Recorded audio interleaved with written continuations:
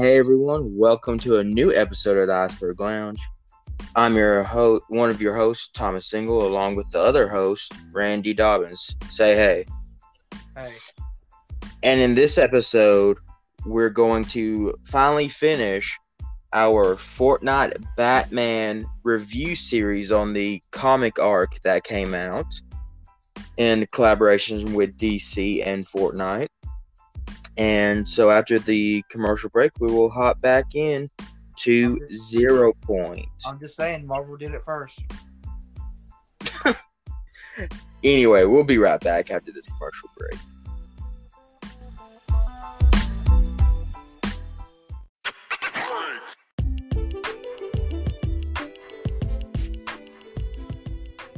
Hey, this is Thomas Ingle from the Iceberg Lounge, and I'm here to talk to you today about Anchor, the easiest way to make a podcast. Anchor gives you everything you need in one place, and guess what? It's absolutely free, which you can use right from your cell phone or computer, just like I do. They even have creation tools that allow you to record and edit your podcast so it sounds amazing. They'll even distribute your podcast for you. You don't even have to do it yourself so it can be heard everywhere from Spotify, Apple Podcasts, Google Podcasts, and many more. You can even make money from your podcast with minimum listenership. So why don't you download the Anchor app or go to anchor.fm to get started?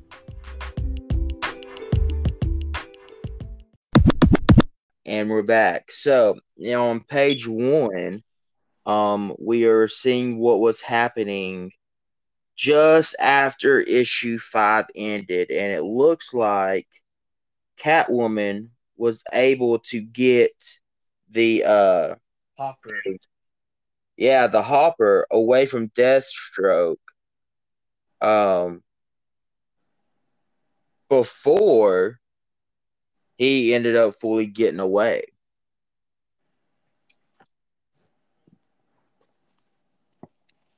And and so now we move on to page two, and it seems that Catwoman might have broken it a little.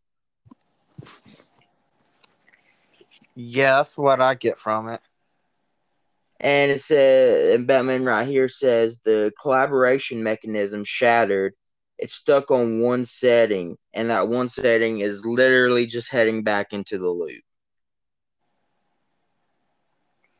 Yeah. But we see Batman says, you know, there's one other person because in the last issue they said they needed a third person with from the same universe, so that way they can really precisely get back to Gotham. And Batman remembers, oh wait, There's Harley Quinn. exactly. And Catwoman's just like, you know, saying, uh, she probably won't be into it, you know, because she's probably lost her memories just like they did. But Batman was like, uh, let's go ahead and get this done so we can get out of here just to see. And so Batman hooks on to the battle bus and off they go to the island. On the next page, we go to see Harley Quinn fighting off Cuddle Team Leader. We get a little appearance from Mancake. Who Um, Thomas says all the time, worst character in the game. No, Mancake is one of the best, and Butter Barn still should have been around. I'm sad they took it out after one season. Butter Barn, took out uh, Wild Card too. oh yeah, Wild Card as well. And it looks like they are uh Neil Stealthy. It looks like. Um, that's the only place that I know of that has walls that high. Yeah. yeah. No, wait, wait, wait. That's one of the bridges. Um, are you sure about that? Because Yeah, If you because look- the bridges. Because look at the top of it. It looks like a bridge. yeah, yeah, I think it. Yeah, you're right. You're I think that's Green Bridge. Uh, okay, so we move on to the next one. Um, so now they're they're sort of fighting Harley, I guess, trying to uh, tag her so that they can track her. And uh, yeah, they're just literally just fighting her. And um, it looks like she has been able to talk the whole time, Randy. Apparently, like I don't, I don't understand then how she could talk the whole time. Unless she was out of the loop at first, which I s- still don't understand that, but because she says, or maybe your numbskulls could figure out that I don't want to go. So it seems like she doesn't want to go back to Gotham. From what she says, let's see, let me look down on the next page. Um, it says, You can talk. How can you talk? And she goes, Duh, probably because I'm amazing. Like this island until the two of you came back and won't shut up. And So- Batman's shocked that she recognizes him. Exactly. And on, let's see. Let's see. Yeah, she goes, she loves it on the Fortnite Island. She goes, You fight and dress up and fight and die and get up and do it again and look awesome doing it. Um, so she loves the island. Like, like she wouldn't mind being stuck here and literally going through the loop over and over again, which is insanity, but she is Harley Quinn. And look, I mean that, and look who she's like with. She's with Joker. Oh So yeah, has to say exactly. Yeah, because another thing she was saying on this page is the fighting, the flossing, the total bonkers craziness of the whole island. These are my people. This is my place. She utterly loves the chaos and she wants to stay. But eventually, on the next page, uh, they ended up knocking her out. Um, and literally, Batman goes, "Our world must be very strange." And Catwoman was like, "Just figuring that out now, aren't you?" And he's also shocked that because he says, I assume she lost her memory too. Exactly. Um, So that means she has to be out. She must have came with Deathstroke or something. yeah, she must have, and it's just, it's just that that part kind of confused me. Um, but they're basically just saying that they're just gonna use her to head home, but then leave her here since she wants to just stay here, Yeah. which is kind of nice. Um, and so now on the next page, we see what most Fortnite players will buy in the comics for, and it is the armored Batman Zero. Yeah. But what's interesting is a armored Catwoman Zero that was never released. That we've never seen. It was never released, and it's and it's right here. Looks just like Lynx, to be honest. Um, it kind of looks like a mix between Lynx and Black Panther. Exactly. And so now I'm wondering if we will ever get this version of Catwoman. We might get Uh, it in the one shot comic coming out in October. You know what? You're right. I did not think about that. That would be a nice little little thing. Um and here's something funny that I don't know if they put in the background for a reason, but in the background you have what looks like the Joker, but it's Fortnite's version. Yeah, it's I don't remember the clown's name, but You have got Chunk. Sca- you got You have- Scarecrow. Yeah, which is Fortnite's version of Scarecrow from Batman, Yeah, and then Chuggus, who's Which is basically uh Bane. Fortnite. Yeah, Fortnite's version of Bane. And who's, who's the girl? Who would be the girl right under uh, uh Catwoman's arm?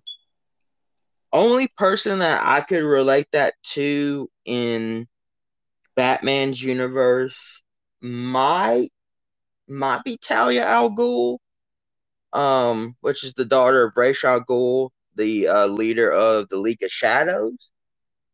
Um, I'm not sure on that one, but I am sure the other three are Easter eggs. Um, that honestly, I'm just now noticing. Uh, but the, these are the snapshots that were left behind after they escape the loop of of Batman and of Catwoman. Uh, because even Catwoman says, you know, who are they? And Batman goes, duplicates of us. This explains why we saw beings outside the loop who are still in the loop seems the island creates a kind of snapshot of those who escaped. You can check out, but you but you can never leave. So if you ever enter the loop, yes, you can escape, but there will always be a part of you on the island. Which is crazy to think about. I mean, because that means everybody who's escaped the loop has a snapshot of them, which kind of explains my uh, which brings up Midas Yeah, and the multiple versions of him. because there's Midas, there's the Fish Midas, there's Midas Rex, and then there's the Shadow Midas. which could mean because me and you have been talking about this this theory lately about what if Midas was part of the IO And I've heard a lot of people talk about that though. and you know what if he was trying to escape the loop or break the loop somehow with the, the device event I've heard multiple people bring this up in videos like that. What if Midas is the one working with John Jones? Well, yeah, and we also had a theory that possibly Chaos Agent could be a part of this group as well, uh, trying to topple the IO, which would make sense because if he was the leader of Shadow, then Midas and him could team up to face a common enemy, which would be the IO there there's so there's so much possibility right now. But as you can see, Catwoman uh opens a rift and they rift into um the underground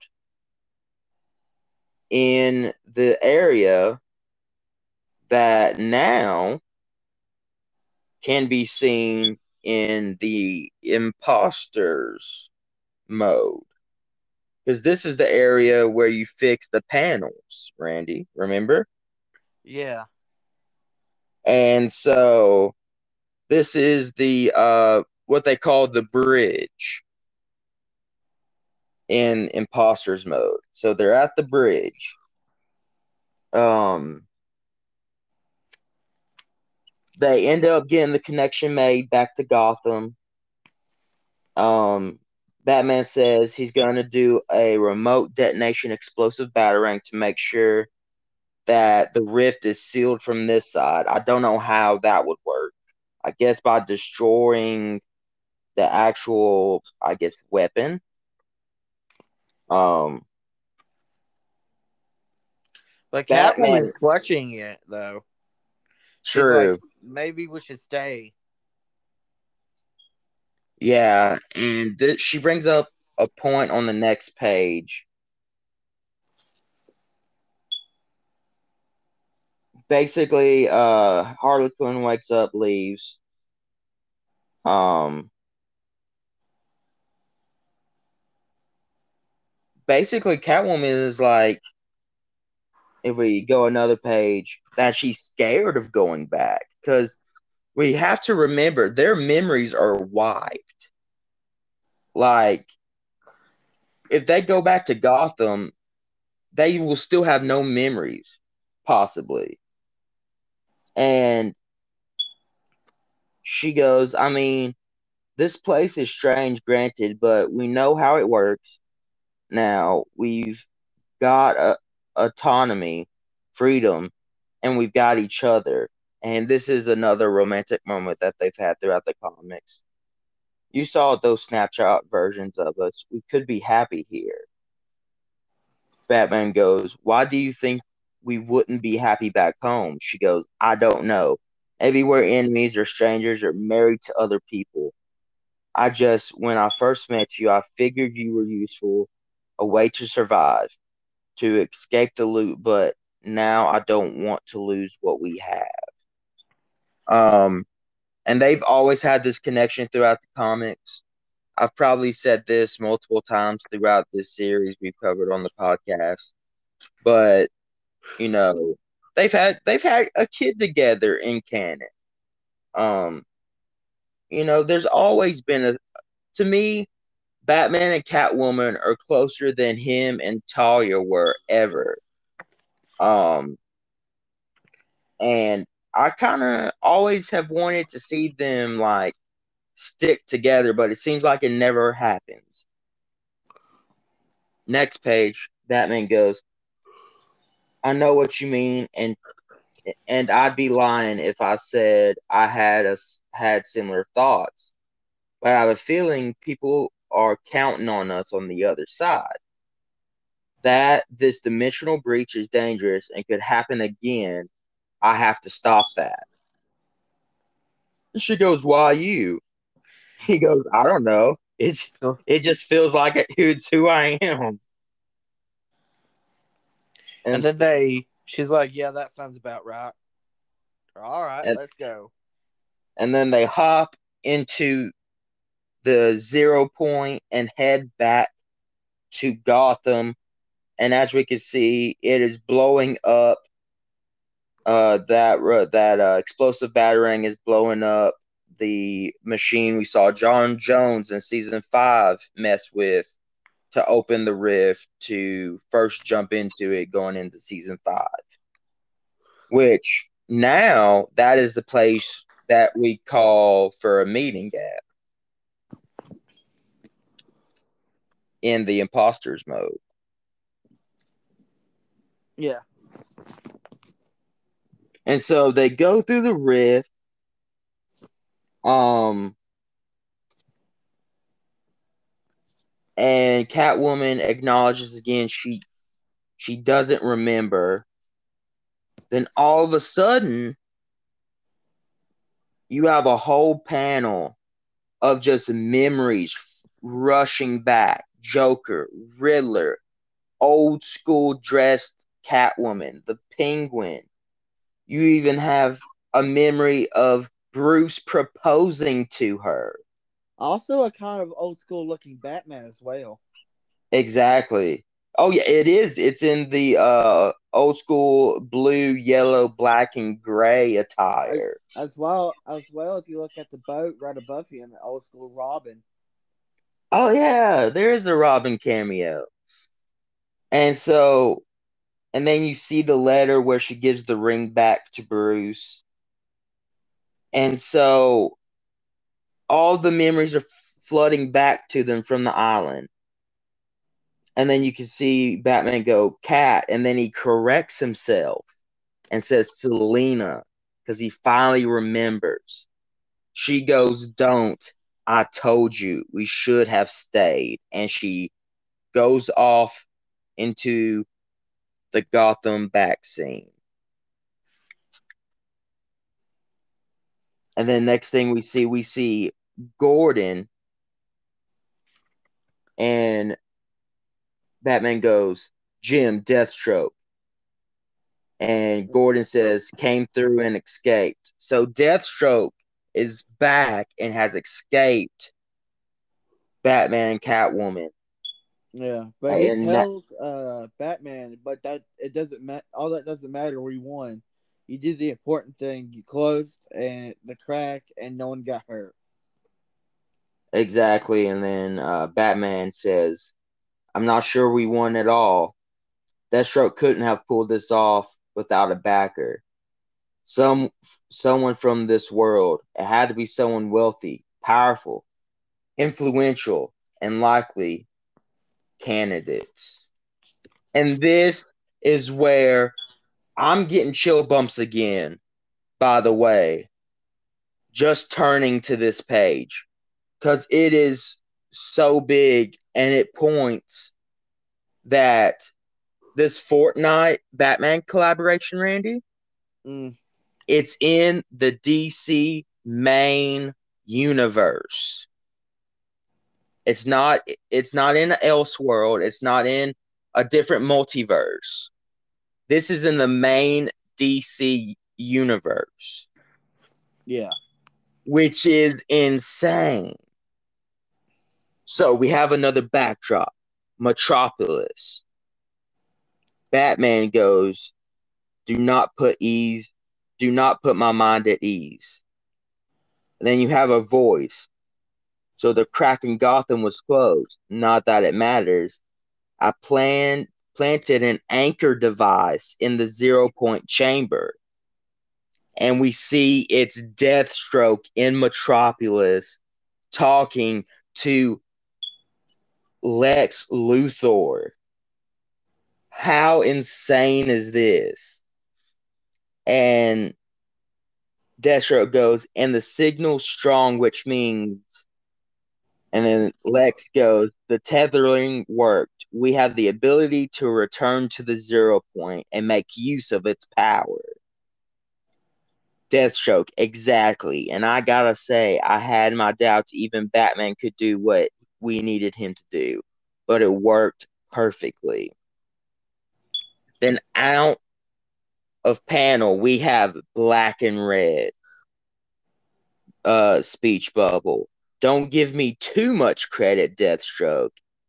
It's not hard to predict what Batman will do when you are Batman. It is the Batman who laughs. He has teamed up with Lex and Deathstroke. And he continues to say, We needed the world's greatest detective to unlock the secrets of the island. He needed an emotional engine to drive him, Catwoman. I know a thing or two about other realities because he's from the dark multiverse.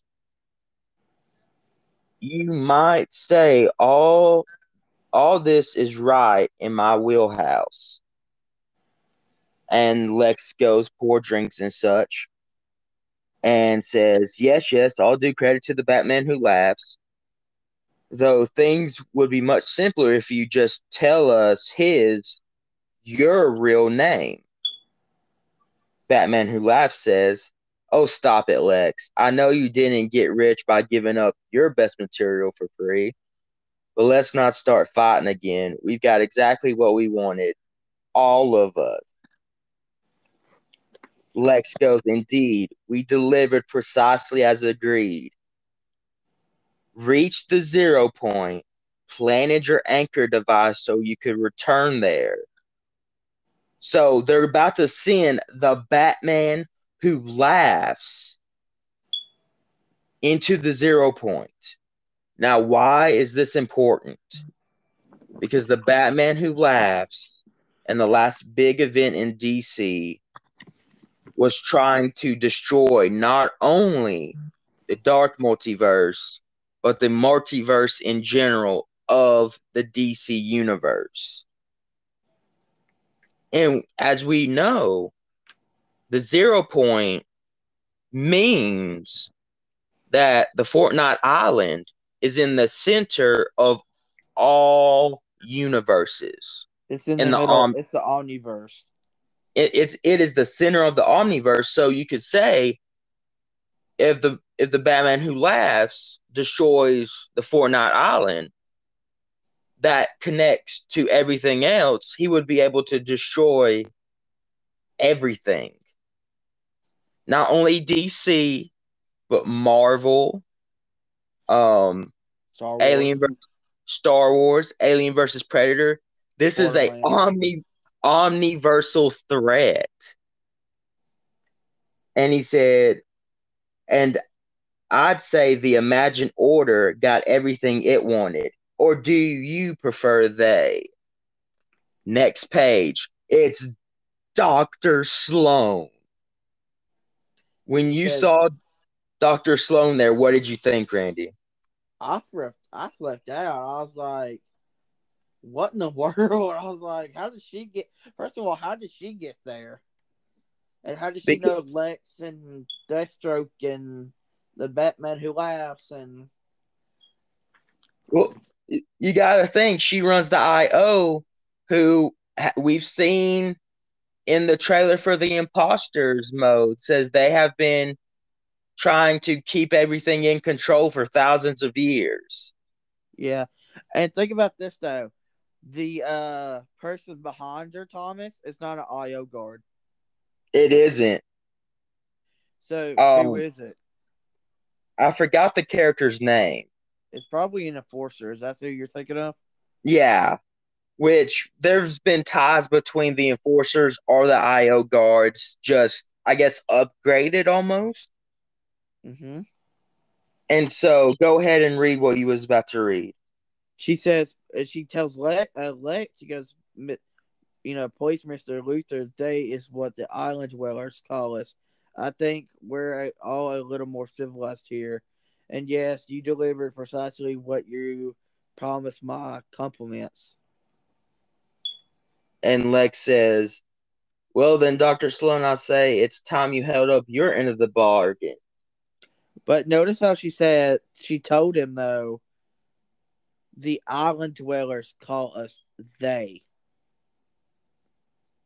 Yes, yeah, which is interesting because, like, the Islanders call them they. The gamers who control the Islanders used to call them the government. Yeah.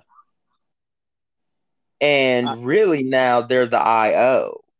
I still think that they're the government from like chapter one. You think so? Mm-hmm. Um, and then she goes, Look outside, Lex. We've already begun. And there has been But the thing is, why is it in quotation marks? Yeah, I, I don't know. Oh, unless that's a because you wouldn't put it in quotation marks unless it's a quote. Yeah. And there is a rift, just like there was in Gotham, ripped open in Metropolis, which if this took place, say this this event took place when it did, this is how Superman was able to enter the Fortnite map. Was through this rift. Yeah, exactly. Um, and even at the bottom in the red and black, you have um you have the Batman who laughs, who who literally says far from the end. So we've had many events throughout Fortnite. And that was the end of issue six, which to me, and Randy thinks so too, this is going to lead to a set of Superman Fortnite comics coming out. Probably six issues. Probably, I would probably say next season, maybe. Um, Because think we're also getting a, the Batman one shot uh, in October, so it has to be. It, we should be getting it if we're getting them next season. Exactly. And so we've had, like you said, many different events. We've had a kind of mi- mini island events that tries to destroy the island. We've had um events like the Galactus event that has tried to destroy the Fortnite planet. and try to get the zero point. We've had events that have destroyed the Fortnite universe, which is the Dark Hole event. If the bat the Batman who laughs wants to get to the center of the omniverse, this would technically be a omniversal event that threatens not only DC but Marvel and everyone else who has ever collabed with Fortnite. Star there Wars, Borderlands, uh, Street Fighter. yeah, Street Fighter. Say that again. You broke up there. Uh, Street Fighter, uh, uh, and other ones. Exactly. And so here's the thing. And I'm going to I'm going to say this now. And we can look back on this episode later. This the next season 10 of this chapter will be the main enemy will be the Batman who laughs in see, chapter 2 season 10 I think so. and i think we have all these seasons to lead up to him coming to the island and just trying to destroy the omniverse I think it'd be kind of funny if he did come and he uh, used uh, Batman's place over in Slurpy to as like a place to hide out. We, yeah, and so obviously, why would the IO allow this if they were able to like keep everything in check for thousands of years? Exactly. Unless there's something bigger coming that they, I don't know. Unless they're trying to get them to help stop a bigger force coming. Which I'm sitting here trying to think what that could be, but I Because I don't think it'd be the aliens. no, no, because we would yeah, that doesn't that doesn't make any sense. So it's just like what could be bigger than the Batman who laughs? And that's a crazy question now to think about considering we had Galactus a few seasons ago. But he was just after the zero point. Yeah.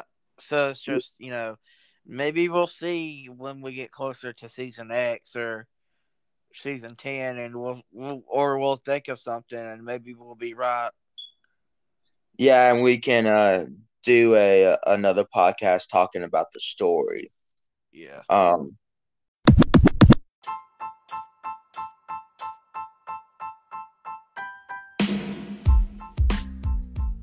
But yeah, this is going to be it. Thank you for listening to the Iceberg Lounge.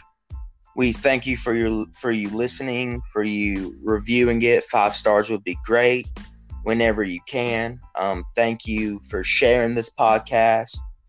Um, y'all mean so much. If y'all want to support the Iceberg Lounge, go to patreon.com slash trji and for a dollar a month you can support the iceberg lounge so that way this show can get bigger and bigger and better and better um, also don't forget to follow us on our social medias which should be in the description of this episode below. So just know god loves you and we love you. And always remember all to god. We'll see you in the next podcast